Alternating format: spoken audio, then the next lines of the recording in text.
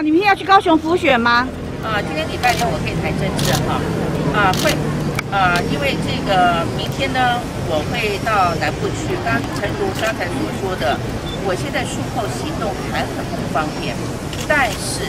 我想对于这个李梅珍，那我会啊去帮她站台，那我会协助啊来她来补选，他是一位非常勇敢的女性，我想一个在非常这个临时的情况之下被征召出来参选。对抗国家队，那小虾米要对抗大金鱼，小虾米要对抗国家队，这样的勇气非常的了不起，